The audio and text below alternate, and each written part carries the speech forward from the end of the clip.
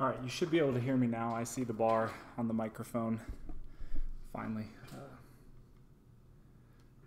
So let me know for sure that you can hear me now.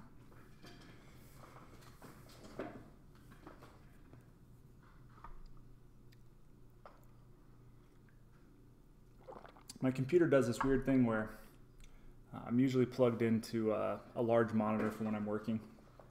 And then if I unplug from the monitor, if I don't actually sign in and sign out, uh, it keeps like our super tight resolution. Not really tight, it's probably not the word. Super high resolution on my tiny laptop screen from the monitor. So like, I forgot to do that. Everything is super tiny. I can't even. I'm like two feet from the laptop. I can't read anything on the screen. Um, so I was having I was having a hard time making sure everything was working. Um, all right, well, happy Sunday, man. The last few weeks have been uh, not super fun to say the least. Um, I'm very happy to be here painting again and streaming with you. And so thanks for your patience and sorry that I missed, I don't know, one, two, uh, how many weeks did I miss? I don't know. Feels like a long time since I, I sat down to paint and certainly sat down to stream. Um, so yeah, I love technology and I despise it in equal measure. I feel exactly the same way. Um, Whew, but yeah, I'm tired, but I'm I'm happy to be here, painting today and um, and hanging out with you guys. So before I get started, a couple things to show off. Um, I'll show the painting second. So if you've been following on social media, you know that uh, one of the things that I've been doing is I had uh, Grayed Out Productions. I had them make some dice bags with our friendly little painting gorilla here. Um, with uh, 100% of the money going to charity for these bags. Um, and I had eight of them made, one for me, and then seven to to sell to people for charity. Um, and I'm still waiting on the payment for the last couple people, so I don't know exactly what their total is going to be. But so far, uh, every single person who has purchased one has also chipped in additional money for charity. So we're looking at probably at least $250 uh, donated to um, some animal charities. So probably, um, I'm probably going to split it about 50 50 but between uh, two of the local Arizona ones, um, unless people who buy them have a specific one of the three charities. I was considering um, doing it. So Arizona Animal Well, can't talk. Arizona Animal Welfare League um, which is the largest um, animal shelter in Arizona and does a lot of other things for like anti-animal cruelty. Um, and then the Arizona Pet Project, which is an interesting one where they uh, they have funds available from the charity and they have volunteers who are going out to different veterinary clinics, um, different adoption places, and they help not only with um, spaying and neutering for pets that are going to be getting adopted or even spraying, spaying and neutering um, people's pets, but also, and the one that really hits home to me is uh, being there with funds to take care of animals like doing surgeries or other kind of um, needs that the animals have, which families might not be able to pay for. And so to keep people from just dumping their sick pets off because they can't take care of them anymore, um, actually going ahead and paying for those those medical needs that those pets have, so that pets can stay in the people's homes, and uh, you know you don't have kids who lose one of their best friends because um, their family can't afford the, the veterinary care for the animals. So those are the two charities that I'll probably be uh, splitting the money between. But this is the one that's going to be kept for me. Um, this was the prototype bag that he did. Um, you can tell the difference. I have one of the other ones. Every other one is, is more like this one in terms of where you see, you kind of get a second part of the logo up at the top. Um, and then the full logo is a little bit closer to the bottom of the bag. And I'll show you that um, when you close the bag, so for this version of it, you know, part of the gorilla gets a little bit um, pinched up into the, the fold. And so I think on all of the other ones, the ones I'm actually going to send out to the people who bought, um, the full gorilla logo then will be a little bit lower. So then as the bag is kind of full of dice and sitting here, you'll get to see him a little bit better and then you I mean there'll be another partial grill up here, but it's all in the the tight folds of the bag. So um, these are really cool. They're they're I was they're great quality. I was really impressed with the, the work that Michael did uh, in doing these. They're also really good size. I mean, I realize it's a little hard to tell, but I mean, I can take my whole fist and put it in the bag, and there is you know plenty of room to spare. They got tons of fun pockets inside of them, so you can uh, a couple different things you can do with these. Um, and by the way, I'm talking about these. I, I know, like I said, they're all spoken for, but um, there's two reasons I'm going ahead and showing them off to you anyway. But uh, they have these fun little pockets where you can either do like if you have token games, like you play X-wing or something, maybe you want to keep your tokens in these pockets, or maybe if you have different types of dice. I realize 40k doesn't use scatter dice, but that kind of idea. So you have all your d6s in here, and you can keep your scatter die or you know whatever kind of special die you have for your game can go in the pockets so that they're easy to, to find. Um, the other thing that I think is actually really cool would is if you are an RPG player and you're taking your dice bag to role playing night, you can put all your d10s and d4s and all of that stuff can go in the pockets, and then you have this nice soft cotton uh, inner part where you can actually put your mini that you're, you know, if you bring your own mini to, to the game night, so you have him painted and you don't want him like dice banging all around, all around him, you can actually keep him in the center and have all your dice in the uh, the pockets on the outside. Close up your bag, take it with you, and you're good to go. So the reason I'm going ahead and showing this off is a couple things. I know um, they kind of sold fast, and so if you if you kind of if you kind of missed out on it, but you actually were hoping to get on it in on it, send me a message. Uh, if I get enough people who that applies to, uh, I could do a second run of these bags make another seven or eight of them. Um, so let me know if that's the case. The other thing is that, I mean, they're just nice to have. And if you don't want to have a dice bag with my logo on it, but you want something else, um, Grayed Out Productions. I think on Twitter, I think it's Gray Like Storms is his handle. Um, he makes a lot of cool different designs. So he has some fabric that he always keeps in stock. Things like cool fantasy maps or dungeon tiles or things like that that are on the bag covers lava, all sorts of cool things. Um, you can also custom order fabric, and he can make dice bags out of that too. So give him a little shout out because um, he really came through making these nice dice bags. Uh, he gave us a discount um, to uh, be able to give more money to charity for him making them. So um, yeah, he he was instrumental in getting these done and being able to to raise some money for worthy causes. so those will all be getting shipped out in the next few days here. Um, there are two of them that have been spoken for. However, I believe that they are actually going into a contest for something. So I don't want to say too much beyond that because I don't want to spill the beans in case the person who is who is behind that doesn't want that completely getting out. But I will just say if you did miss out, there there might still be a chance for you to win one of the two uh, two of the bags, one of the two of the bags. Sorry, I'm very tired. My uh, I'm sounding a little incoherent to myself. All right, so the other thing is, um, the last time I was on stream, I was working on um, this Space Marine. I didn't get super far. I think I pretty much just got the skin done and I was blocking out some of the colors. Um, I've since finished him. And let me pop up on screen the, the color scheme that we're that we're working on. So kind of doing a Lannister themed color scheme with this guy.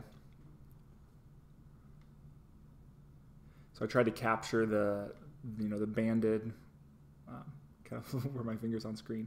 I'm like trying to do a green screen thing here with it.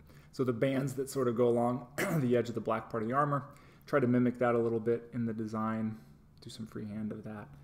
Um, have some of the bright red, but also some of the darker crimson. You can't really see it on the example here, but some of the other Lannister armor example has that darker crimson as part of the red that you start to see as you, you move out from the center of the model. Um, so yeah, I'm, I'm pretty pleased with how he came out. Um, if you remember, um, Pack Team jumped on the stream last time while we were working on this, and he said, "Ah, can you do some tattoos on the head?" So we did some some facial and head tattoos on him too. So that guy's part that guy's done. Head non-washable. Um, and yeah, so I've only since since that stream again. I don't know. Was that two weeks ago? Three weeks ago? It feels like forever. Um, since then, I've actually been able to block out all the colors on the Dreadnought. Play with the focus a little bit. Um, block out all the colors on the Dreadnought. himself. And I actually got the gray, the black slash gray painted on uh, the Dreadnought body as well. So it's got all of its different layers and highlights and things like that. You can see it best um, on this like armor right there. You can kind of see the, the fade. Um, we've got all the, the various armaments and things. Hey, Printable Heroes, what's up? Thank you, I appreciate that. Um, there's various guns, arms, all that stuff. So I've got all the, the gray, most of the color blocked out. I don't have the, the um, bronze color is the last thing that I'll do. So that's, none of that's blocked out, but that's because it's going to go on top of the other, a lot of the other color areas. Um, so I, my anticipation is doing a lot more of the banding, you know, on some of the darker areas, some of the black areas and the dark um, wine color areas, but then also like along these these large plates here, doing a lot of some of that uh, more intricate design, like what you see around the gorget section of the the Lannister armor that's there.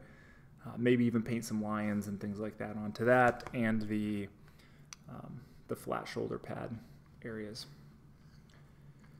So today, my main focus is going to be starting to work on the red. Um, I don't even know that I'll get it done on stream. It's kind of a long process to build up some of those layers. Um, the the main like technique um, that I'm using for this guy is, is if you've seen me before, it's not a big surprise doing the glazing where I build up a lot of underlayers. The underlayers are going to have um, some extreme contrast between the darkest parts and the lightest parts, but then we use some glazing over the top of it to smooth the transitions between everything, knock down some of the brightest layers and get a lot more um, subtle color. And then we can go in and do some shading and, and darken up some of the shadow areas. So we're going to work on the, uh, the red. And what's interesting for, not interesting so much, but what I did on this guy is the two different red areas. I actually went ahead and highlighted them up or layered them up using the same colors. So even though they're distinctly different reds, I just layered them up. But then when I went back and glazed, glazing with the bright red versus glazing with the uh, darker red brought it back down to the difference in colors. So we're going to do both red areas with the same layers that we're doing. Uh, the only thing I have to do is, the first thing is I have to um, base coat the edges of these weapons, the bolters and little rocket pods that are there. So I need to base coat that red.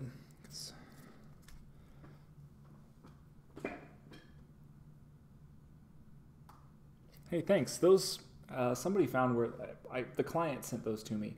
Um, I'm trying to remember where they said they got them now. He he never said, but somebody else found them. One of the major third party parts makers that's over in Europe. Uh, if you shout, if you know any of those and you throw a couple of them up, uh, I'm sure I can uh, recognize my name, but I don't remember off the top of my head where they got them. I'm going to take this the Lannister picture off. We know what it looks like. We know what we're shooting for.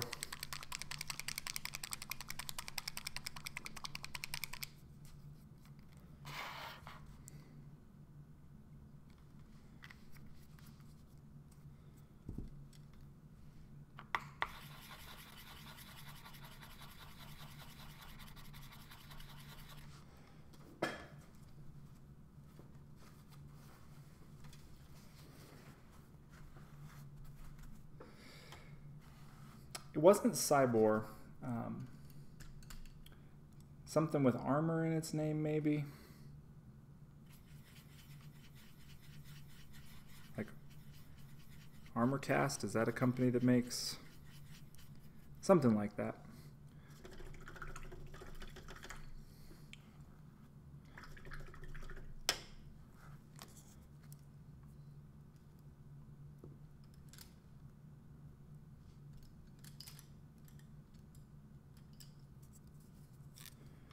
So I'm just going to start off, like I said, just base coating the these weapons here.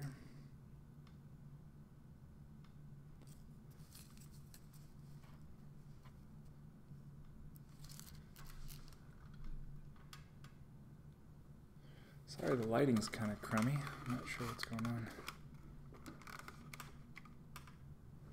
It's a little better.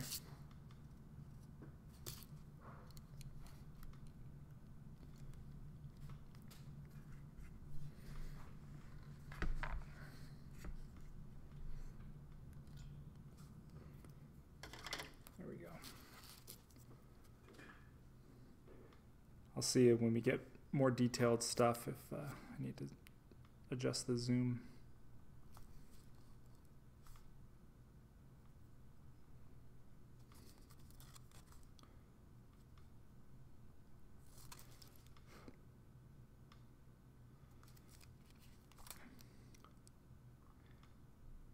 You know, it's kind of interesting. You, you talk to painters, especially people who've been painting for a really long time, like me, You'd be pretty you'd be pretty hard pressed to find somebody who has never painted a space marine before.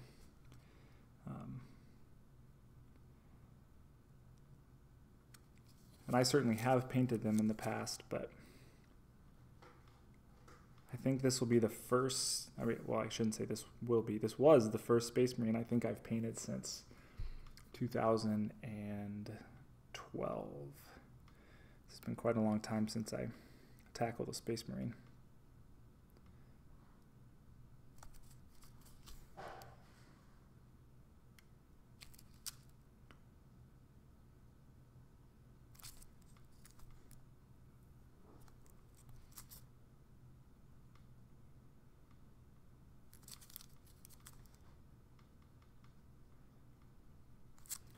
Really haven't done a lot of sci-fi stuff in quite a while. I used to play 40k. I had a whole Thousand Sons slash Tzeentch army.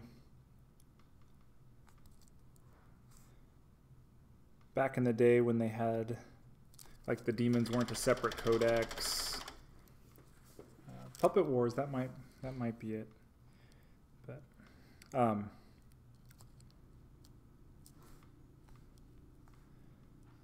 yeah, demons weren't even a separate separate codex, so you know you did things like all those Tzeentch demons were summoned from your Thousand Sons units, and greater demons were popping out of your aspiring champions, things like that.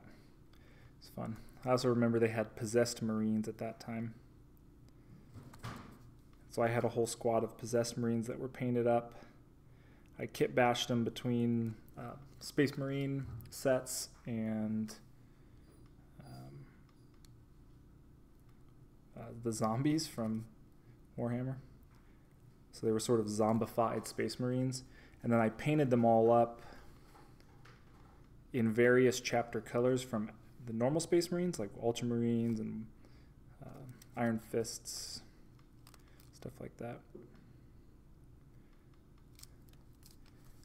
The idea being they that demons had sort of possessed the good guy marines and forced them to fight for the bad guys. That's my idea. It looked pretty cool. I had lots of battle damage on the armor.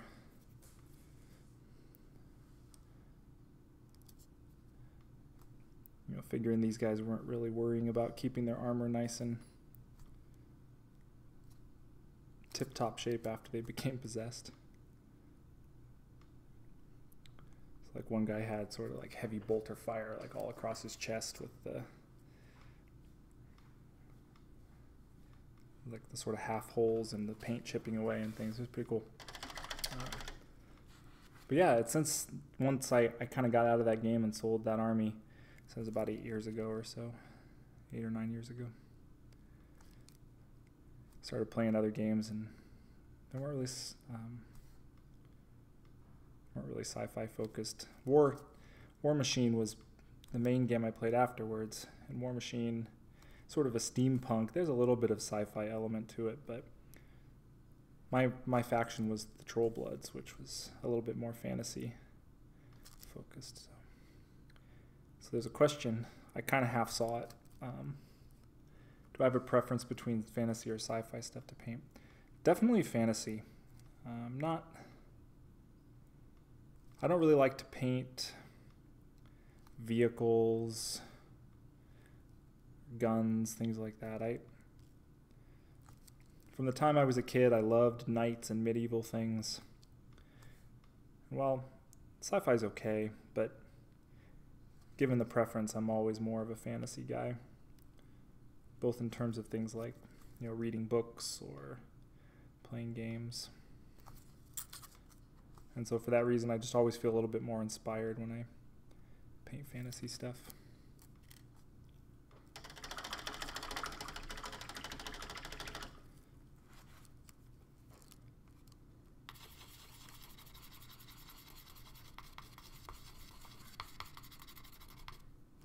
Uh, I think you know when you're painting fantasy things, you can really be inspired by a lot of medieval,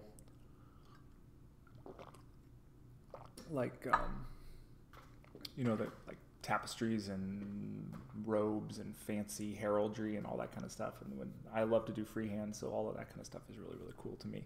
Um, you know, sci-fi. I mean, it doesn't have to be, but it tends to have a more cold sort of feel to everything. Um, it's just not as not as much my thing.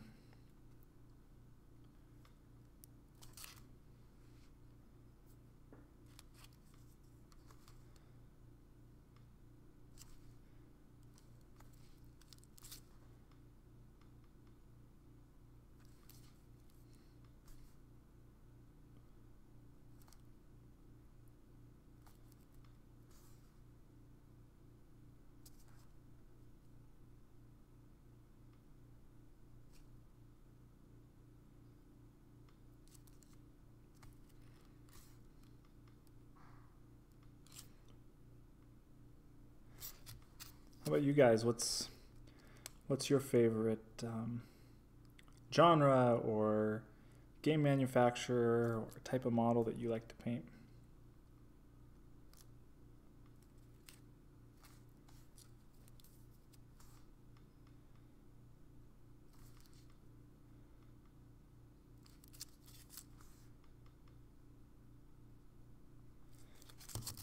And I also turned off the the blocker that was keeping people from posting links. So, by all means, if you have pictures of your stuff posted somewhere, you want other people in the stream to check it out, um, go ahead and post a link to it.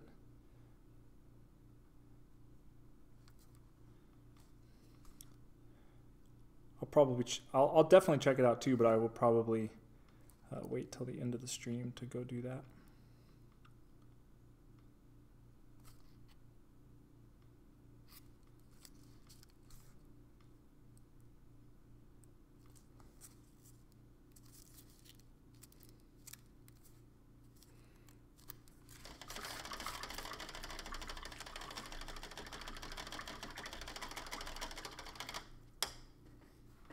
Yeah, I, I feel you, printable heroes and, and paint each hole.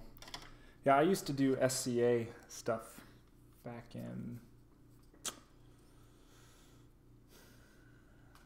guess it was 2001, 2002, somewhere around that time. Um, yeah, that was fun. But then the local chapter just met so far away from where I lived.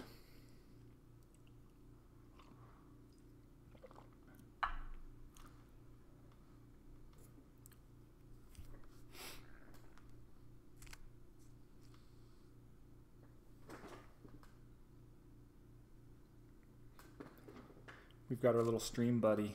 Diego is uh, checking out what's going on.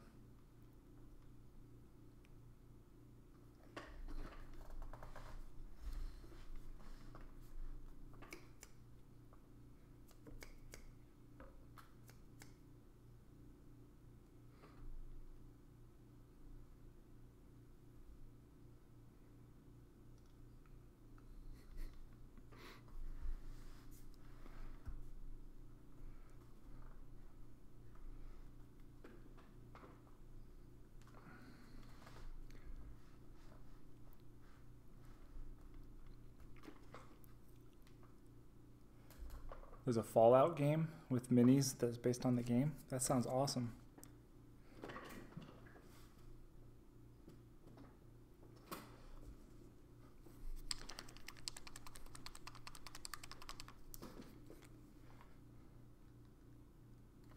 I saw that I'm adding a little bit of blood red to the deep red. Um, I saw that they they just did a Kickstarter for a new Hellboy miniatures game.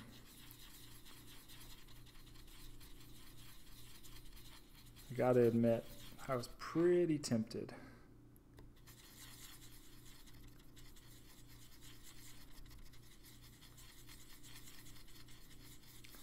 But I have so many unpainted models right now.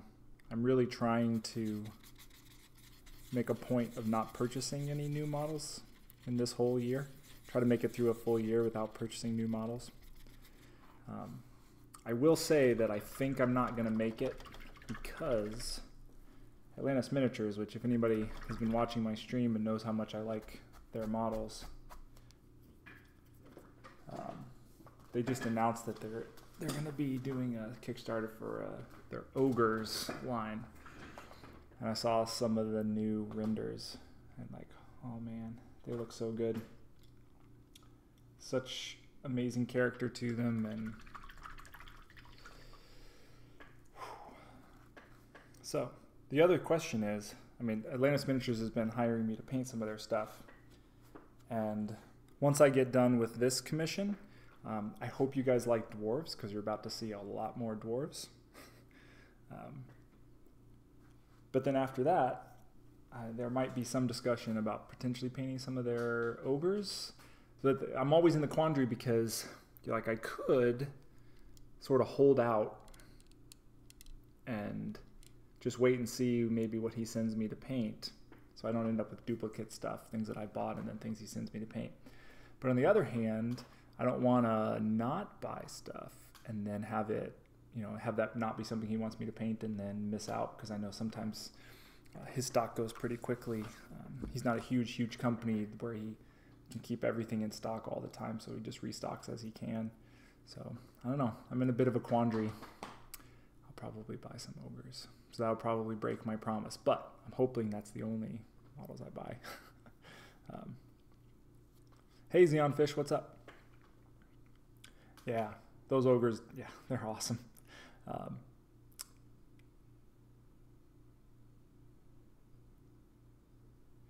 Yeah, I will say the the thing on the ogres, um, I don't think those are final yet. And I know for the dwarves, when he did the Kickstarter, um, he continued to make improvements. If you were to go back and look at the original uh, scribe miniature, for example, that was on the the first like show for the Kickstarter of like when he launched versus the actual final model, there were significant improvements on it. And I think that's true for all of the dwarf miniatures. So I think all of the ogres he's been showing are still work in progress. They're just kind of at a point where he's happy enough to share them, but he's going to continue to go back and, and refine.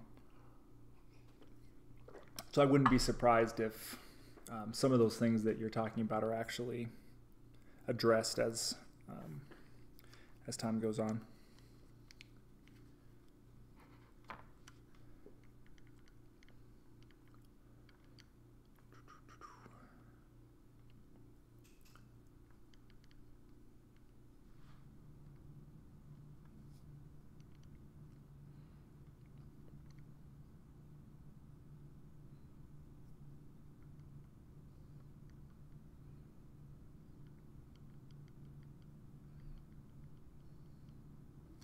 Yeah, the in terms of whether he'll have um, some at the UK Games Expo. I'm trying to follow this. Um, I doubt they'll have any ogres if that's what you're talking about, um, because right now I think everything is just um, renders. He might be printing a few just to see some different scales, and I, I guess he, I suppose he could have some um, like test models there, but.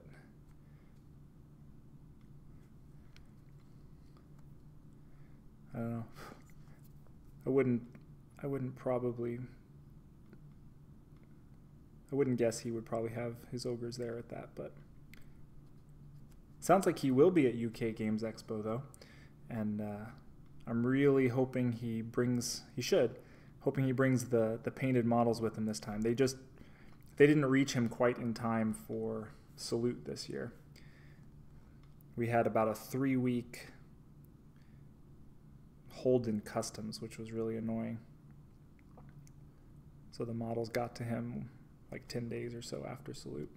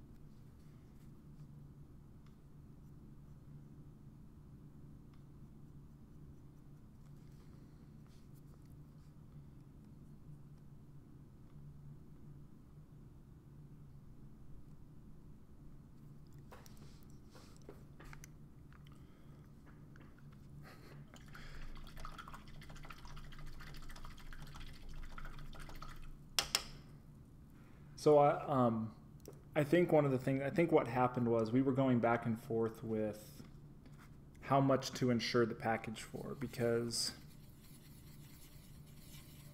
um, when I got the Celtic Bust cast, uh, the package that then got shipped out of the UK was completely destroyed and had to be they had to recast all of the busts. And so I was a little nervous about sending such an important package like these painted dwarfs to him without having any protection for the two of us, you know, for my time and for his investment. So we were kind of going back and forth, and we, we ended up deciding to do to insure the the shipment for the full value. And so I think that the the value on the package I think caused customs to spend more time processing the the shipment.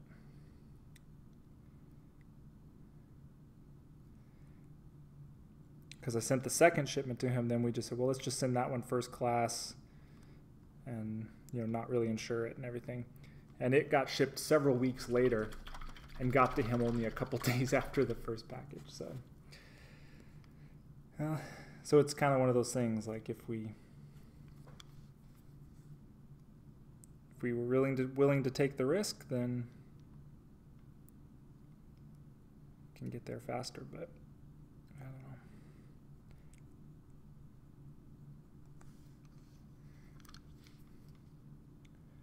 Always a little bit of a gamble.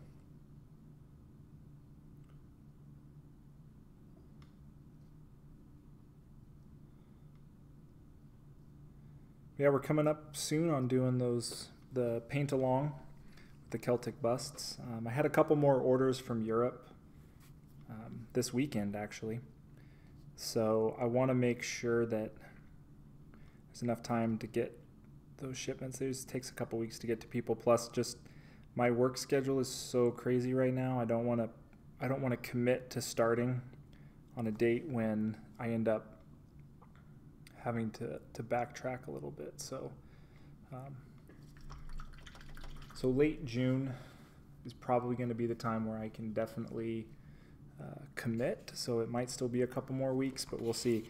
Um, I'm thinking what I'm what I'll do to start is to just record a brief, um, just like a brief, maybe 30 minute video. That's not live, but I just record it in the same setup. But I talk about things like um, preparing the miniature, cleaning it up, um, choices of primer, um, kind of how to attach it to something to paint or options for buying plinths and just kind of an overview for, for people who, if they're maybe a little bit newer into modeling in, in general or just painting busts in particular. I'll talk a little bit about some of the like what paint colors you might want to get.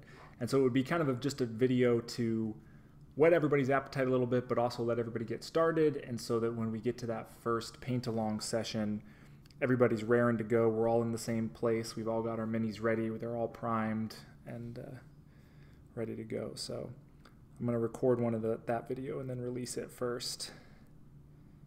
And then schedule the first official day, and give everybody a little bit of a chance to prep their minis.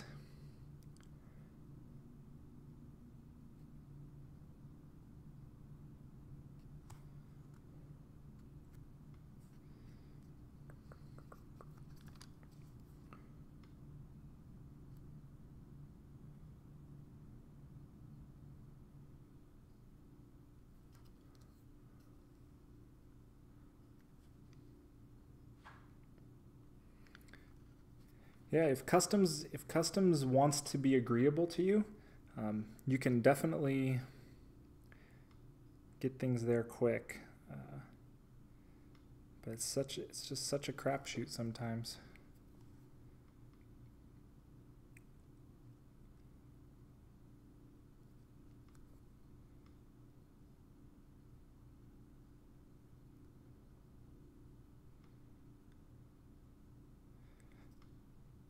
Shipped a model. Somebody bought one of the models from my personal collection. Which, by the way, if you're at all interested in that, you can go to my website. There's a page called for sale. So anything that's just in my display cabinet here at my house, it's all all for sale. Um, I'm pretty sure that's like a serious comment. I don't think there's anything that, that's in my cabinet that's not on there.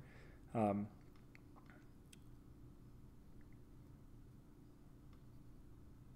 but anyway, he bought one of those models and he lives in Germany and the tracking and uh, you know assuming the tracking was correct but tracking showed it going landing in Germany and then going on to like Romania sitting in customs in Romania for two and two uh, two to two and a half weeks and then finally getting back to Germany and to him and he's like I don't understand what's happening The only thing I can think of is I don't know if there is some hub because of the EU.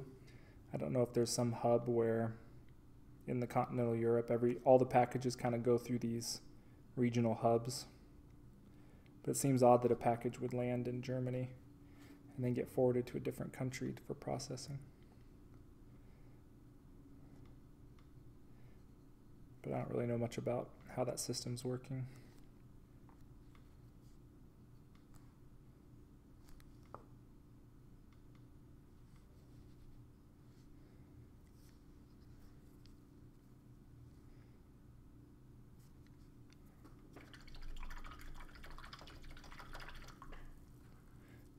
Hey, that's that's a bold move there, painting troll.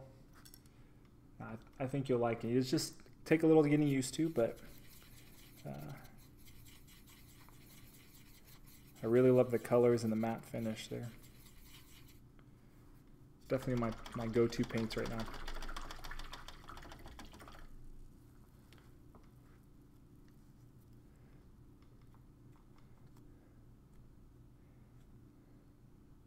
That might be why it sat there for so long. They're like, why, why is this package here? This is not our package. This is not our problem.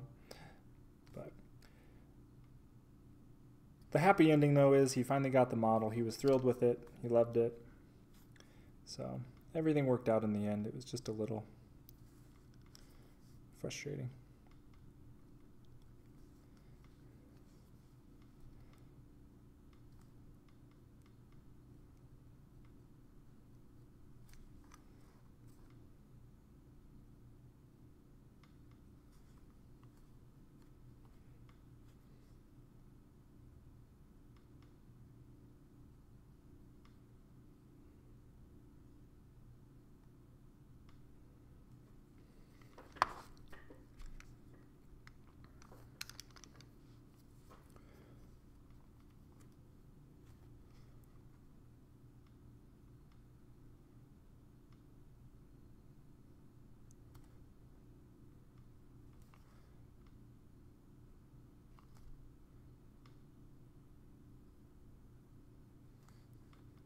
So right now I'm kind of visually focusing on, or trying to visualize how the,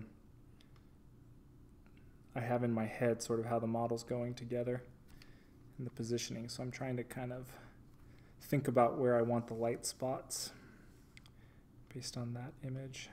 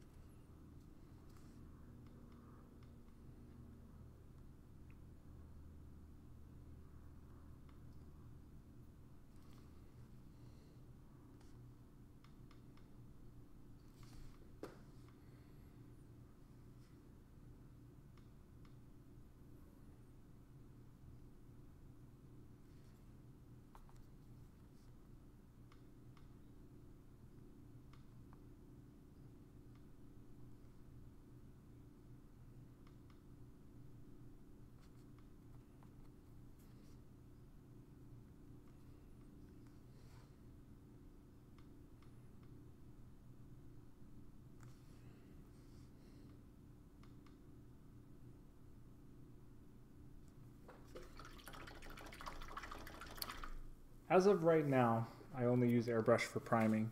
Um,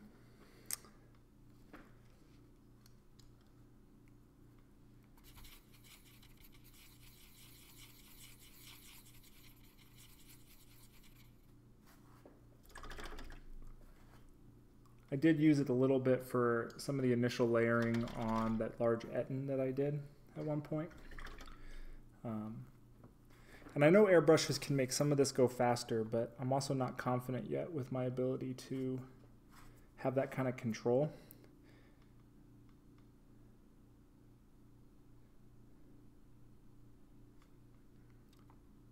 Um, and it's kind of a catch 22 like i don't have that much painting time like i don't feel like i can devote a bunch of time to practicing even though i know in the long run it would speed things up but in the short run it would slow down the the projects i really have to get done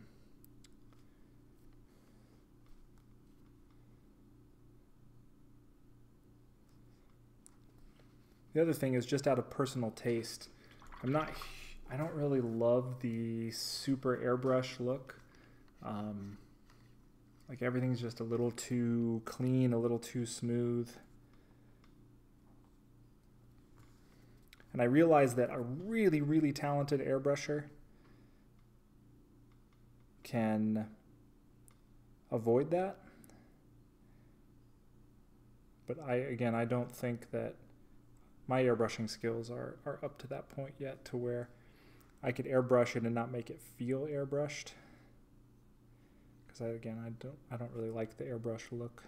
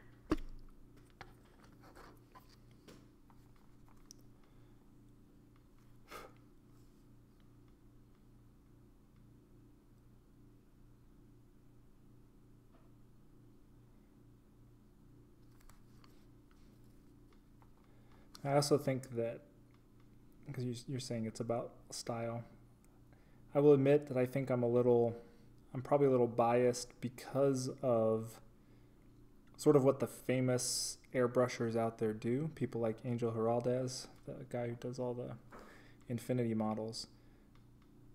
I mean, he uses an airbrush in a very, very particular way.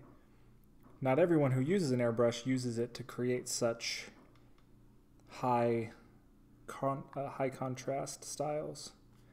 But that's kind of what I mentally associate with airbrushing. And I don't really love that. At least that's not what I try to achieve with my painting. And so there's just a little bit of a sort of a bias against really having a desire to pick an airbrush up and really learn how to use it because I feel like, well, I just make my stuff look like that and I don't really want that look. Even though I consciously know that's not quite true.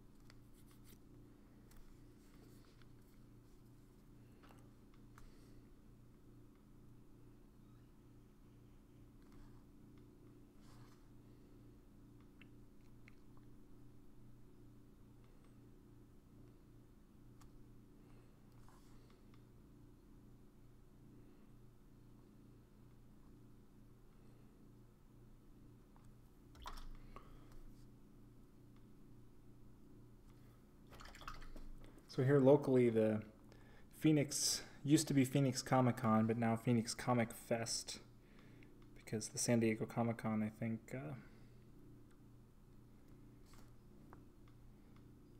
won some lawsuit, copyright lawsuit or something for using Comic Con, but. Um, but the Phoenix Comic Fest was this weekend, which is a, one of the country's larger conventions for all that stuff. A lot of the people locally here who are all gamers and hobbyists spent a bunch of time there this weekend. But I haven't really heard a lot. I don't know if anything big got announced or released or I don't know. Anybody hear of any any big news from this weekend?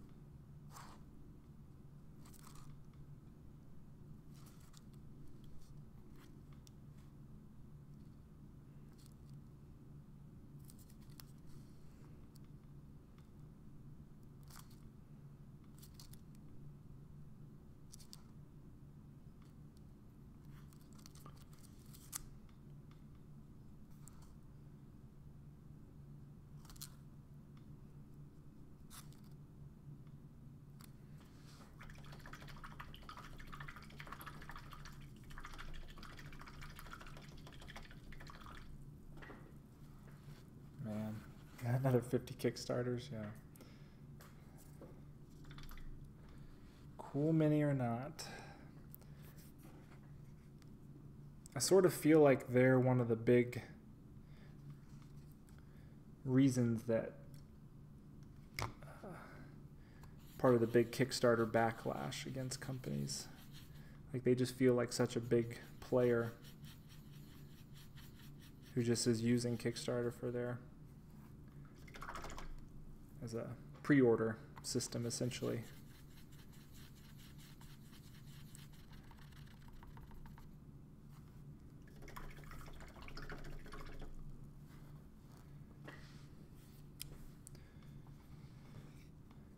I really wonder sometimes what like what's Kickstarter going to look like in 5 years? Is it still going to be around? Is it just going to be completely all pre-orders from major companies and smaller companies can't even get recognized there? I don't know. I certainly think when it comes to our hobby, it's kind of strayed away from its original purpose.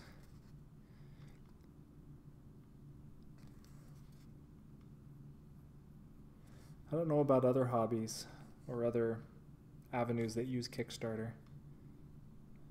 I've never pursued Kickstarter to look for anything else other than hobby stuff. So I don't know if the same thing is happening in video games. Is the same thing happening in I don't know any other industry that uses Kickstarter?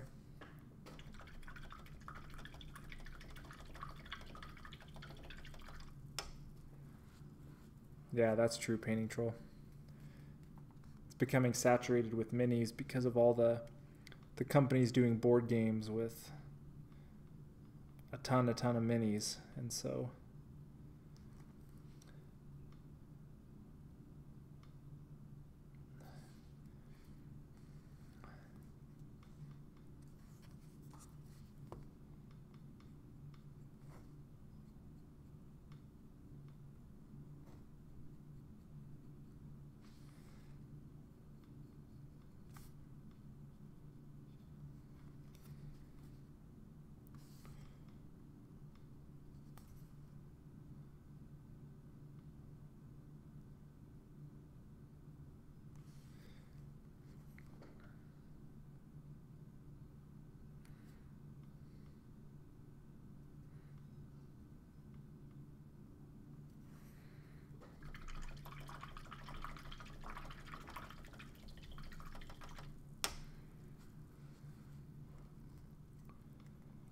two Kickstarters every month for Blood Bowl teams.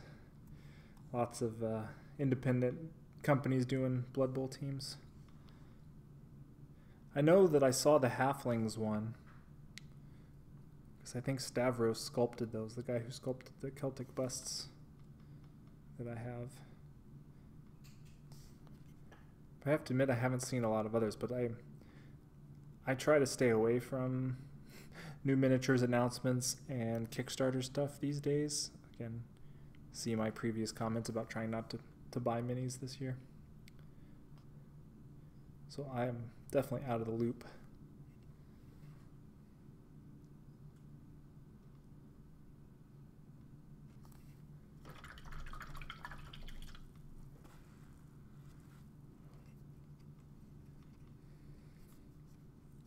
Are they doing teams that are like GW doesn't make, or is it just people trying to put out alternative sculpts essentially?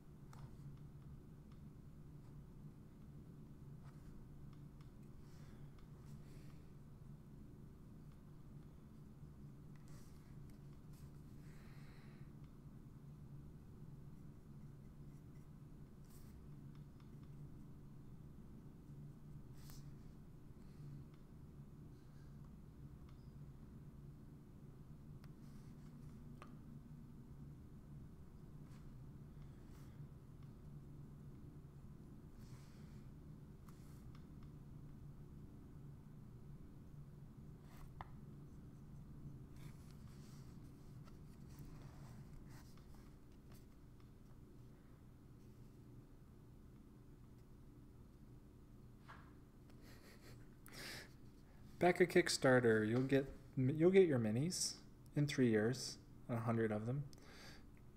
Yeah.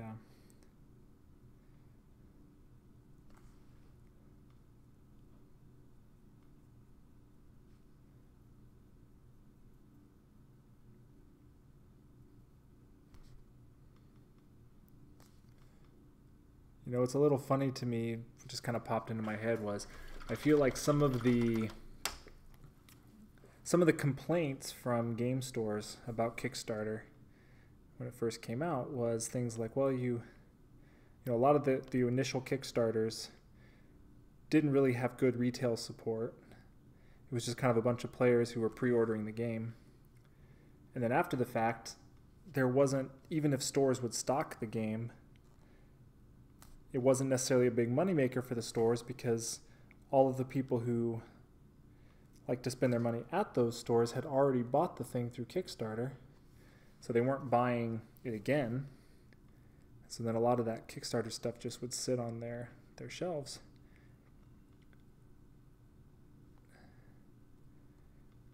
But what's funny is a lot of the independent retailers first started feeling a pinch when models started getting sold online because people could buy models for cheaper online so they would buy them online and then they would come into the store and play. The store was providing all this space but not getting the money from the model sales.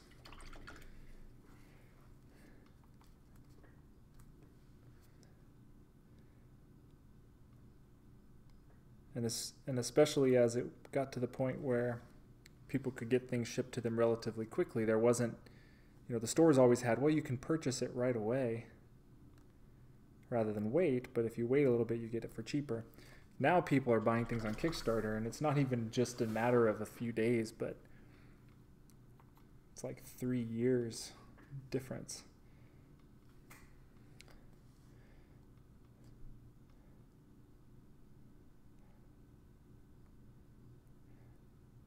I know I was guilty of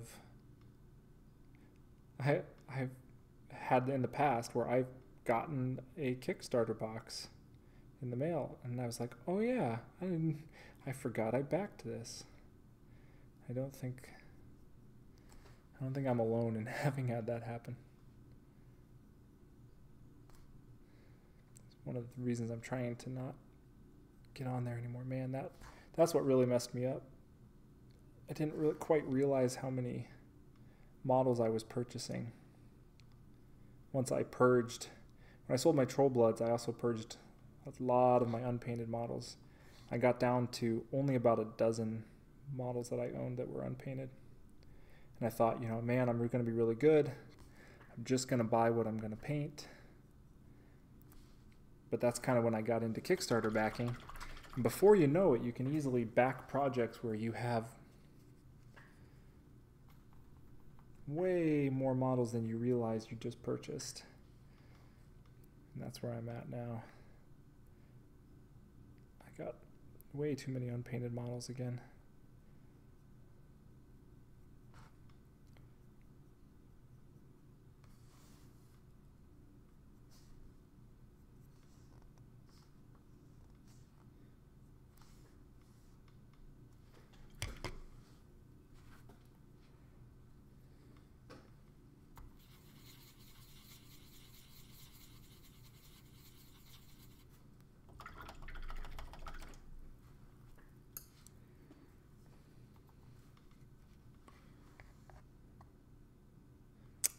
That's unfortunate.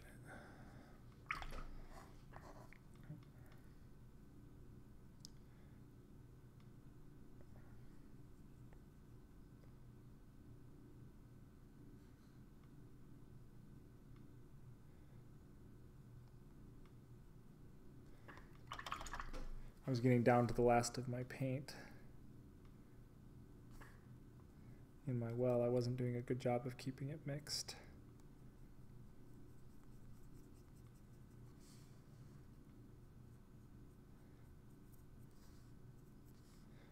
So that part went on a little, little interesting.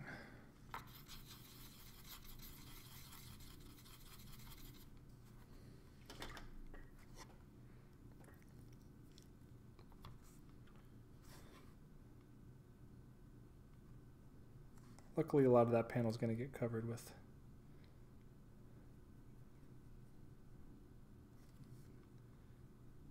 freehand details.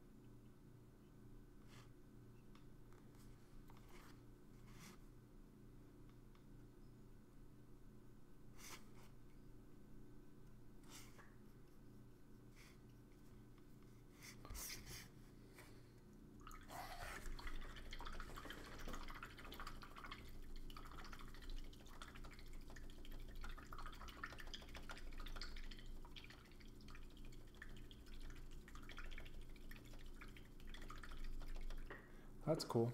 Getting a, a, zombie bust and paint him up like Red Skull. That's awesome. Yeah, I'm. That's also one of the things too. Like some of these Kickstarters where, you know, there's some really cool minis, but then it's really easy to overbuy when you know maybe you only really needed one or two of those to paint, as long as you're not like buying it for a full army. But then some of that, gets out of control. Like you know, they had that Kickstarter for Harry Potter um, a couple months ago. And that was probably the closest I've actually come this year to, to purchasing models. But ultimately, all I really wanted was maybe half a dozen of the models. You know, like Harry and Hermione and Ron, and then just a, handful of other ones. But the, the main guys were all just in the core box. You couldn't buy them separately. Now, maybe one day you can buy them separately, but right now they're all just in the core box, and I wasn't going to pay like 80 or 100 or 120 dollars, whatever it was, for uh, the core box just to get a couple models because I doubt I'll ever play the game.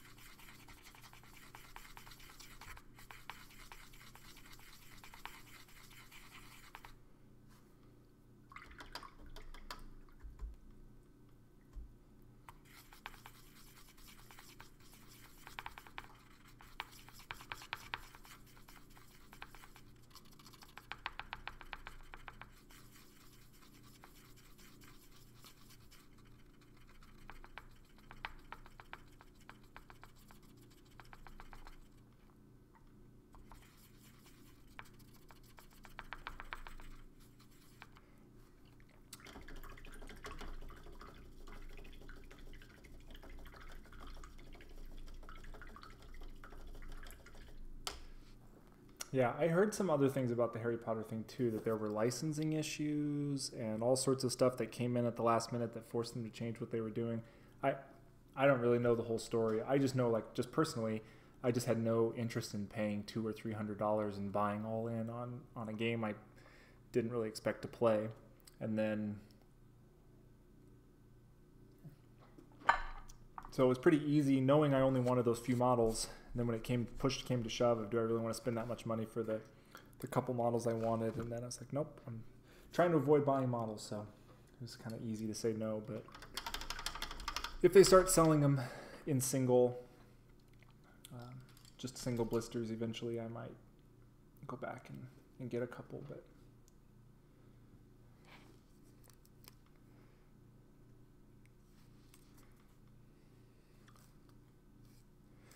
I saw you sent that you put the link on there for the zombie head. I'll definitely go and check that out later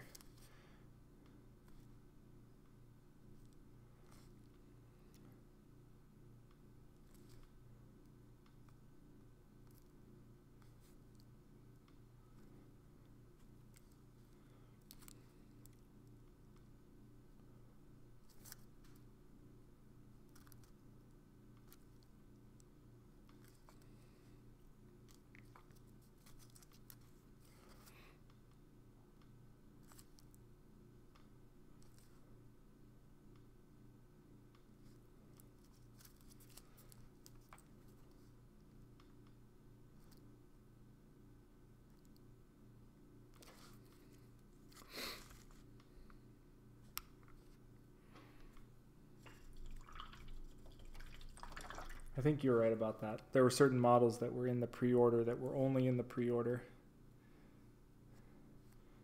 But again, will you ever be able to buy like Harry Potter separate from the the box set? I don't know.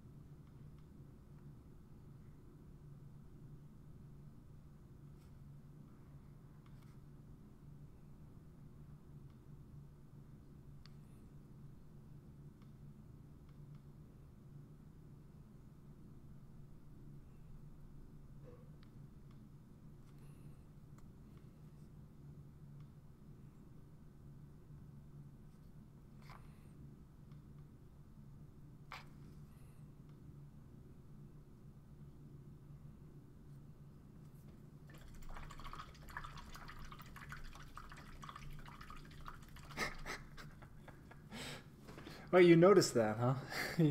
it's almost like uh, I've got some go-to tricks. Yeah, he's for if the chat's not going to be up in a future video. So, Painting Troll said that he went back and watched my Space Marine tutorial because he wanted to get my skin tone recipe off of that.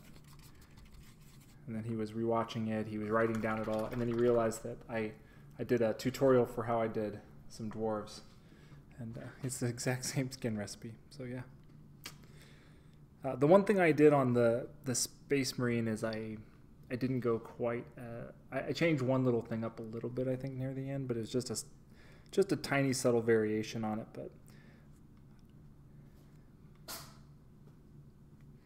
um, yeah, that's kind of my go-to skin recipe. But what I'll do is when I go to the glazes at the end, so I pretty much use the same base for all Caucasian type skin tone. Do the same layering and all of that stuff. Then how I will change change it in subtle ways is with the the glazes that I'll then do and the shadowing. Um, so I can go for a more like pinkish tone skin. I can go for a more orangish tone skin or a more brownish or grayish, just based on how the mix is that I use for the glazes. But the actual layers that I use to build up is pretty much identical every time.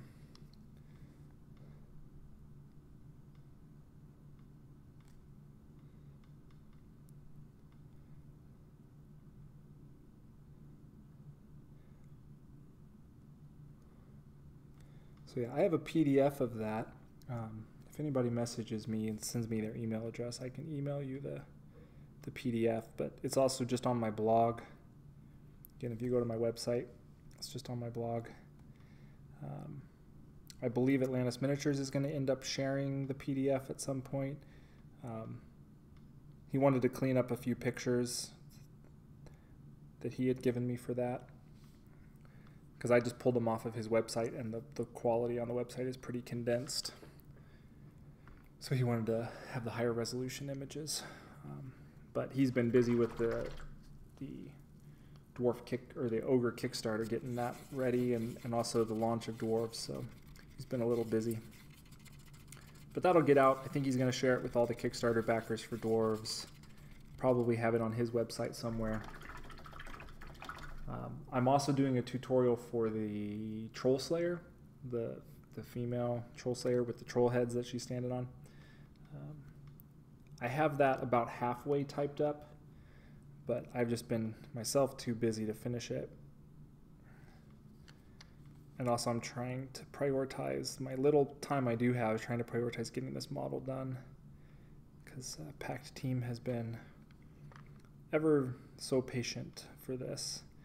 Uh, this was actually supposed to be the model I painted back when I started the dwarves, but he graciously allowed them to go first, um, which was really nice of him. So I'm trying as much as I can to get this to him in a reasonable time frame.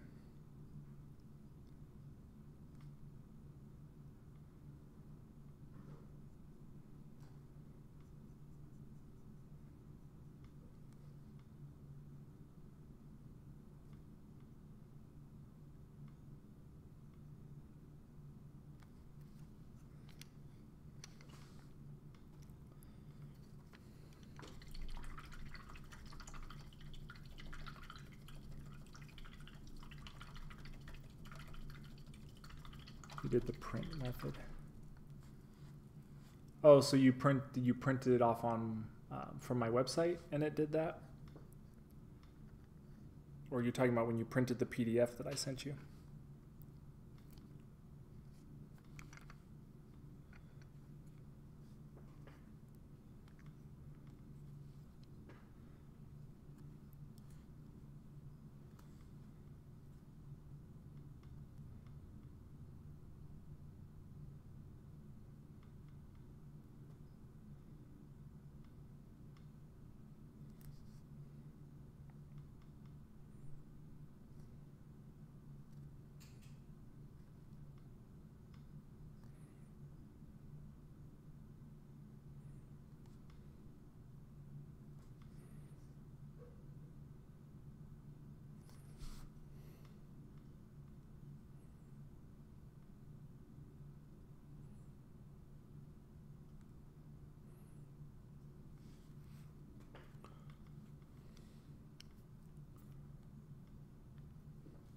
Yeah, okay. So that method, yeah.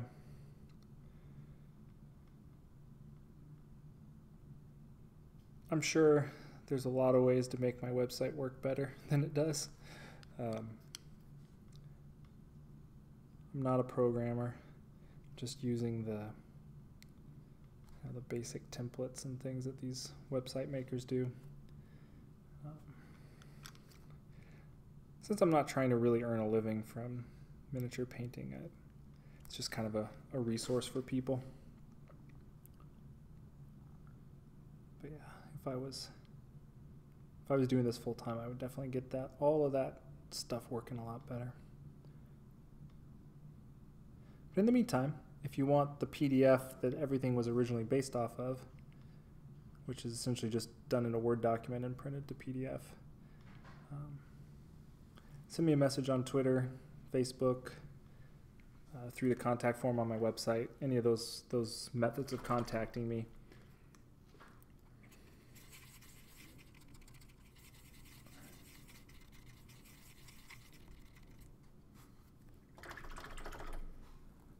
and I'd be happy to send you a copy of the the nice PDF.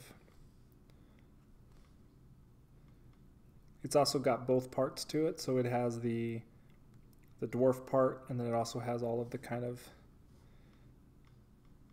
just general comments, things about glazing, shading, color, all of that stuff. But yeah, the Troll Slayer one, if I had to guess, I would say sometime in uh, late June or July. I'll have that one, and same thing. I'll I'll put it on my website in the blog section, but I'll also have a PDF version. That once you see that get posted, if you want the PDF of the Troll Slayer, just email me. I'm happy to share it.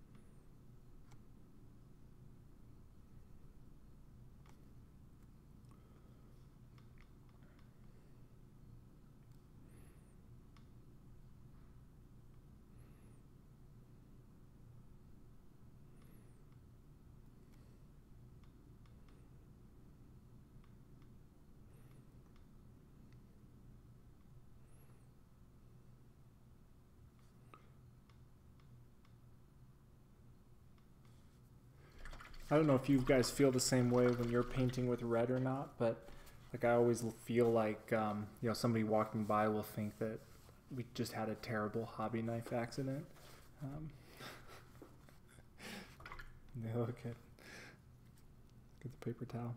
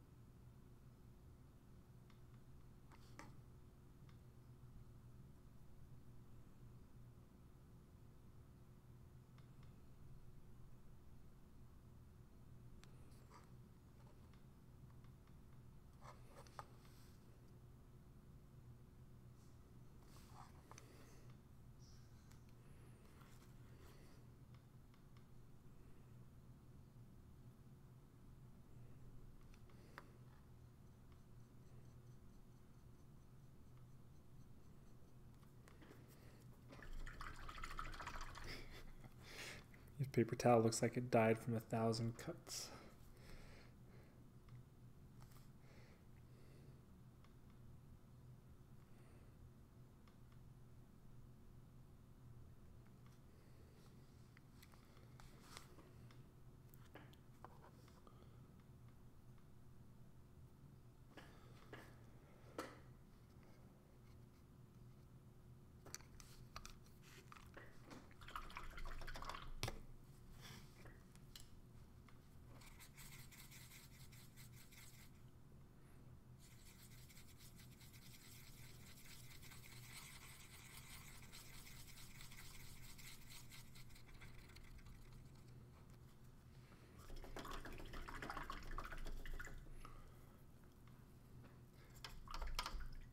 Know, they have these things like uh, the Great Courses Plus and, you know, things where you can do independent learning um, throughout your life. And they'll have people come on and do lectures, or you can take just distance learning courses, not for any credit. There's not any homework, but you're just like, you know, taking lessons to learn things. I would love to learn about like pigments and like the science and history behind um, like paint pigment and you know what what they what they use for what what they use in paints to do the pigments, what the just the whole history of that. It's something I really don't know anything about, and yet it seems kind of central to what I what I spend a lot of my time doing. I wonder if there's a book out there.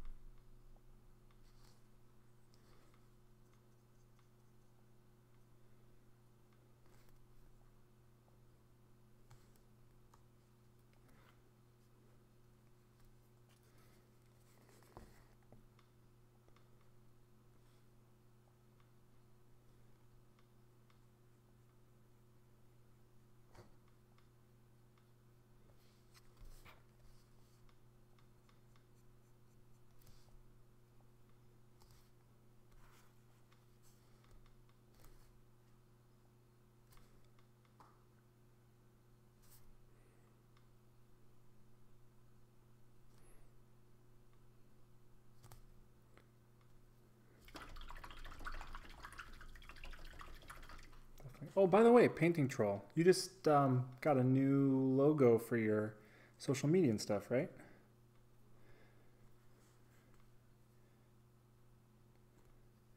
Taringa Tunes, or however you pronounce it, uh, made it for you.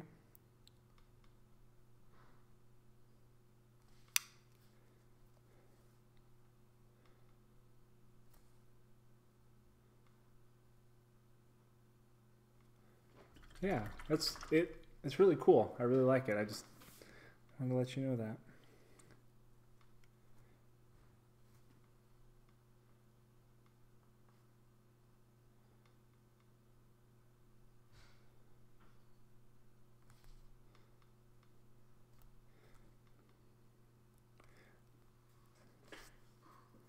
Yeah, but I approve of you know the the big cartoon beastie uh, imagery, painting little miniatures. I like it.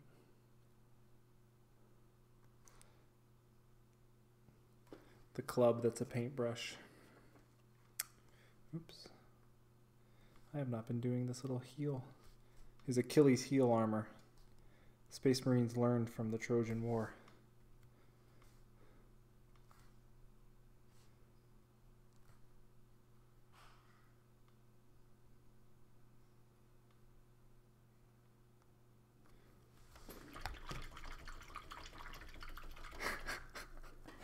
That's kind of funny. I have a very similar uh, goal in mind. I'm gonna. I've been really thinking about getting some T-shirts made.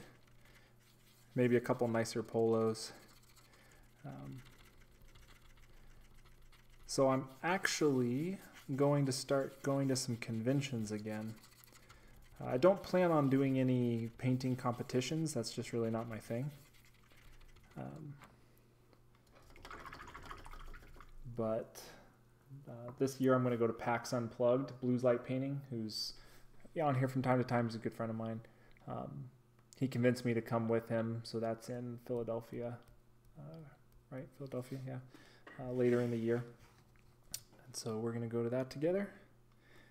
Um, so that'll be fun. And next year, I might be going to Gen Con. But we'll see. And there's could be a lot more about that. That's a long way off. I'll leave you in suspense, but But yeah, I'm gonna start going. So I was thinking about getting some some shirts made so that people can recognize me and either come up and throw things at me if they don't like me or come up and say hi and shake my hand if they want to meet me.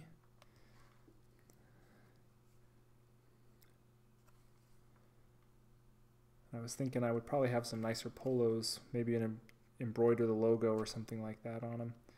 Um, and maybe at the same time also get some t-shirts made and have those t-shirts available for sale because one of the things that was interesting was when I was doing those dice bags I had about three or four people reach out to me and say well I don't want a dice bag but I would totally buy a shirt from you.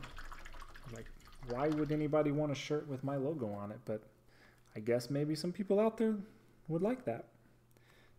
I guess I never really thought about that. Um, so I might get some t-shirts made and kind of do um, maybe something similar to the dice bags, although I, I can't always like do all the outlay for the the money. So it might be something like uh, 50% of the t-shirt sales go to charity and 50% come back to me to sort of cover the costs of making the t-shirts. Um, so I might do something like that and have a t-shirt with the Gorilla logo on it.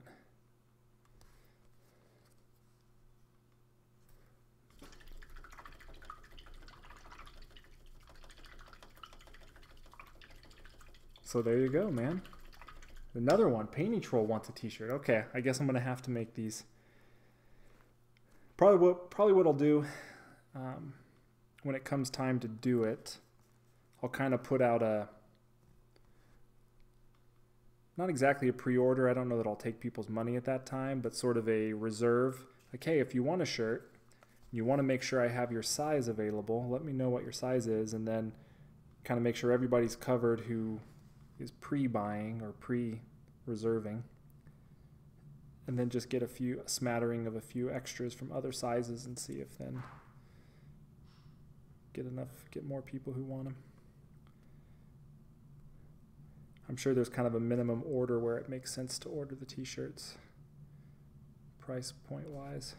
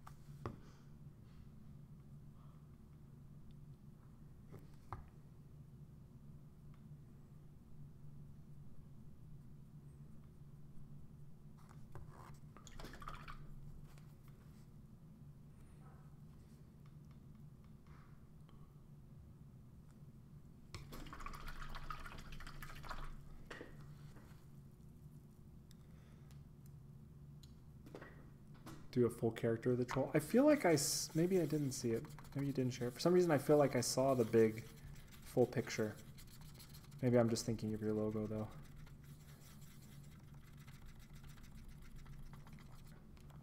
I was really tempted. Maybe if I can track down the guy. Um, I went through Fiverr.com for my my logo originally, um, but I paid a little bit more to have full commercial rights and everything to it. But if I can track the same guy down, I kind of thought it would be really funny to get some headers made for my my like Twitter and Facebook. So rather than this is still something I'm like kicking around in my head. Rather than have painted models up there, have sort of a cartoon studio, like a painting studio, and have it be full of chimpanzees that are all like supposed to be kind of working in the painting studio for the gorilla, but doing more like damage than actual painting. So like two monkeys in a paint fight, somebody else who's like I don't know, just just kind of hilarious monkeys doing monkey things in the background um, as like a, a, header for the social media stuff, but have it done in a similar style to my gorilla. Um, I kind of thought that would be funny, but I don't know. I go back and forth a little bit. It's kind of nice to have examples of my work on the main page too, so I don't know.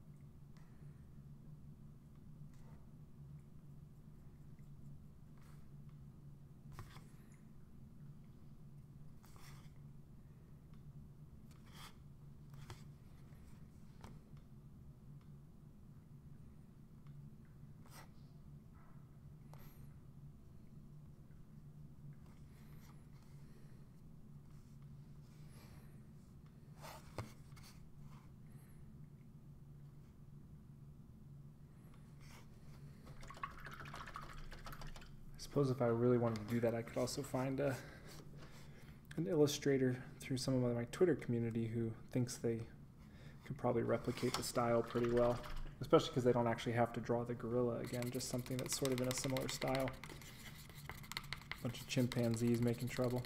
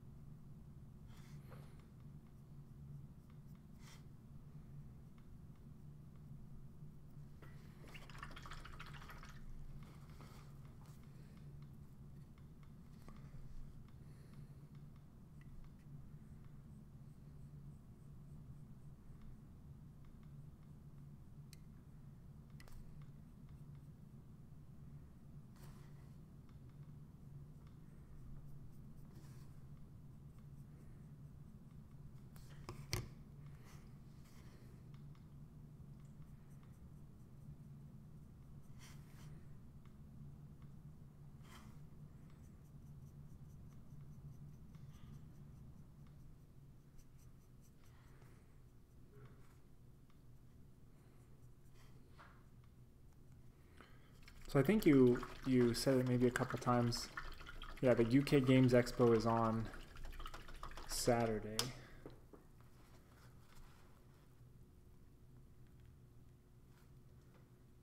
Um, cool. I'm definitely gonna check that out.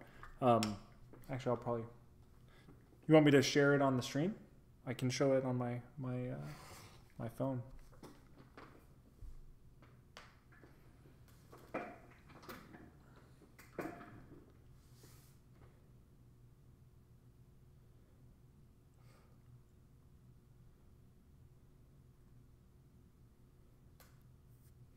I think so. I, I think it's really cool. I really like it. I feel like these two guys like would be buddies, you know.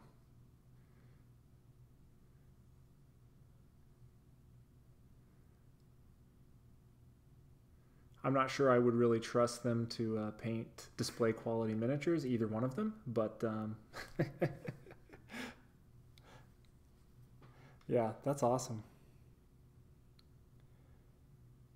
Oh, he did a great job. I like the paint pots around the the neck, and I also like how he's got paint on his uh, his beard. I think that's awesome. I really like it.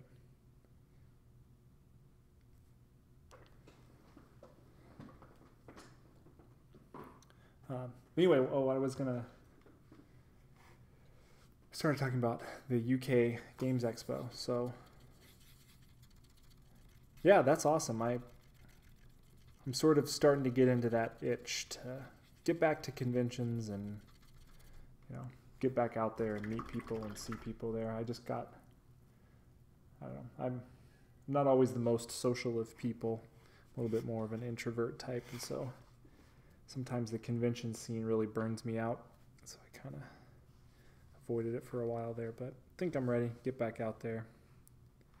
But yeah, I, I think Atlantis Miniatures is going to be there. It sounded like it. So definitely go give them a huge hello from me. Um, good people over there.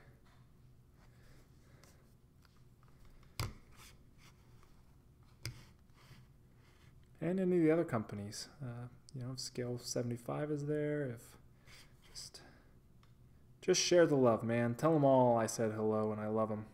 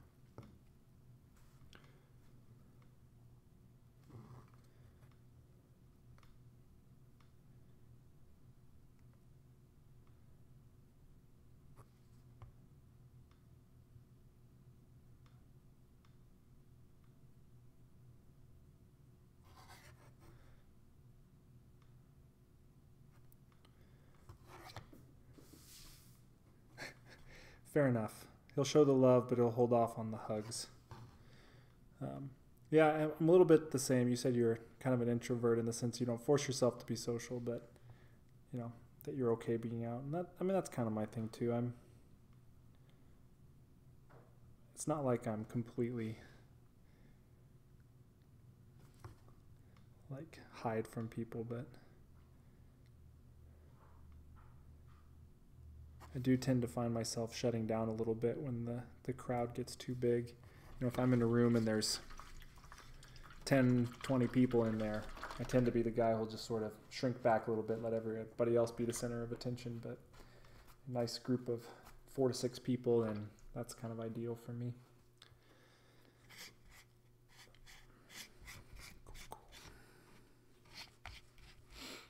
All right, well, been about two hours. I think I'm going to take a, a, small break and then come back out, come back, uh, keep doing these layers of red. Hopefully, get the red all done today. And um, yeah, once the red is done, then it's a matter of doing the the brass bronze sections, starting to do all the freehand and adding that stuff in. Um, and then finishing up on the little details like pistons and all the other little stuff that's on there. But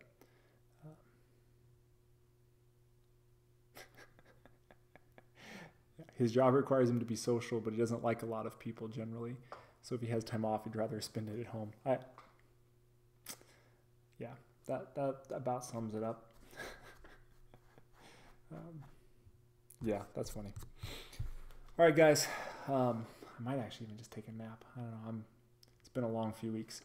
Um, I really appreciate you guys stopping by today. Uh, as always, um, I've been saying it some on Twitter today.